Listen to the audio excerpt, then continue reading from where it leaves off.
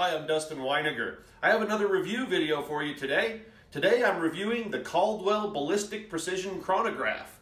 Now if you've been following my channel, you know that I've been using this chronograph a lot lately for powder comparisons and other things. But today I thought I would do a video on the chronograph itself and tell you everything that I love about it. So let's get right into it.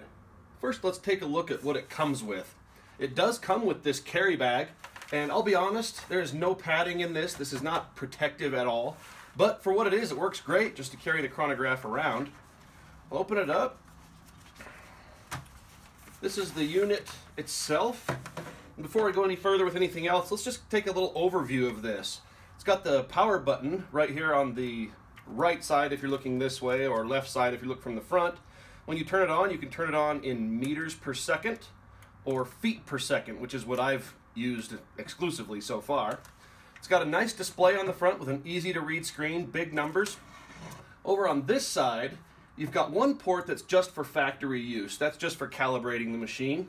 So you won't do anything with that. But then you've got this other port for an auxiliary cable where you can actually attach a smartphone or a tablet, which I'll talk about a little later. Down on the bottom, you've got battery storage. It's got the battery that powers it and a compartment for an extra just because, you know, you may run out or run, run that battery dead out in the field. Up on top, you've got the front sensor and the rear sensor. And on the very bottom, I should mention also, you've got a place where you can mount a tripod if you'd like. Now, going into the bag, got the instructions for use. And then here are the sunscreens, which go up above the sensors. They conveniently have these clips that store the rods. And I'll just show you real quick the assembly of this. It's very easy. Start at the back. Rods just go into these holes on the top of the unit itself.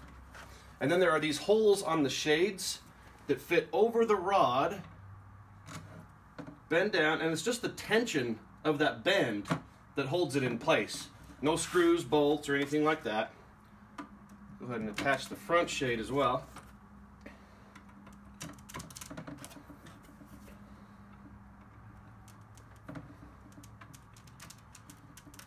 So that's what it looks like assembled and ready to go.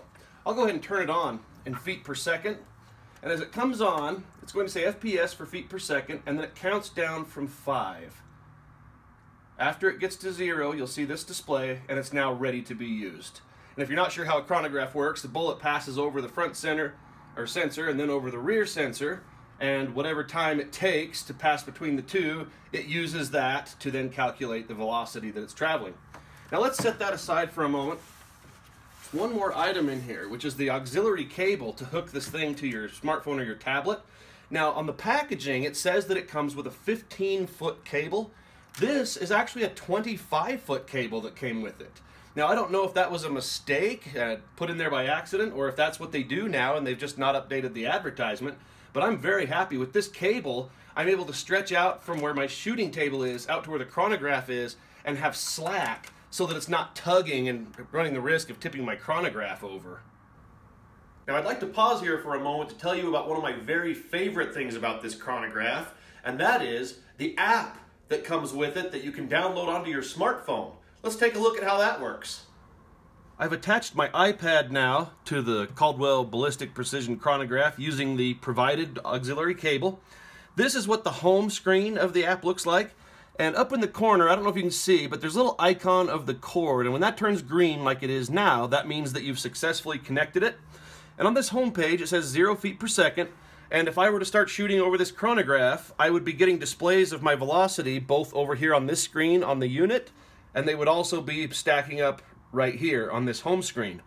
Now, if you go to New Group here at the bottom, you can organize and collect data for a specific load. Up here, there's a description where you can name the load that you're using.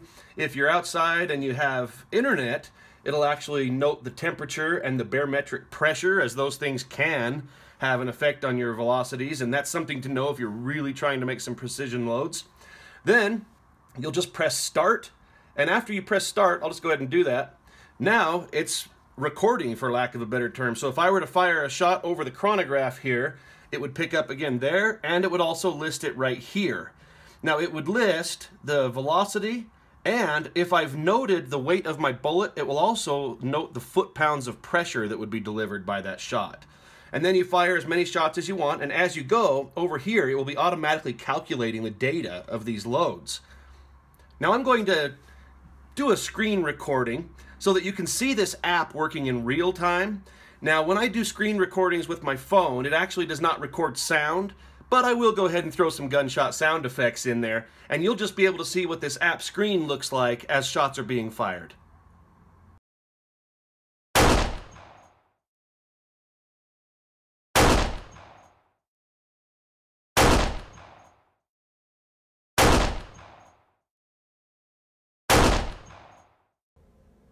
Well, I'm sure you'd like to actually see this chronograph in action, so why don't we head out now to the west desert of Utah and do some shooting. I'll be shooting the Colt Walker.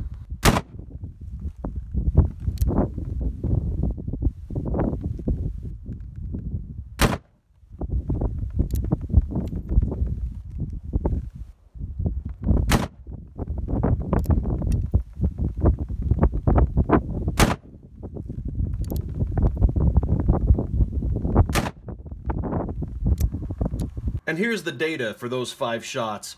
Now you'll notice, if you can see on your screen, it did not note temperature barometric pressure as I did not have any internet data where I was shooting. But I've got in the description here 1847 Colt Walker, 0.54, uh, excuse me, 0.454 round ball, 48 grains of GOEX triple FG. Over here, I've got my velocities listed and then foot-pounds of pressure since I did know the weight of the ball. Over here, shows my average velocity was 1,121.2 feet per second. And it's got other things on here, minimum, maximum, shows the spread. This is really convenient, and I don't even have to do the math anymore. Everything is just automatically calculated, so this really can't get easier, in my opinion. I have to say, between the cost of this chronograph, which is usually under $100 depending on where you find it, sometimes well under $100, and the ease of the setup, and not to mention this app that comes with it. I am just absolutely happy with this thing. Now it is available in what they call a premium kit, which will come with a tripod and a light set to replace your sunshade so you can shoot in lower light. And it also comes with a heavier bag. But honestly, for the price difference, I would recommend just getting the basic kit that I've shown you today. The chronograph unit is exactly the same either way.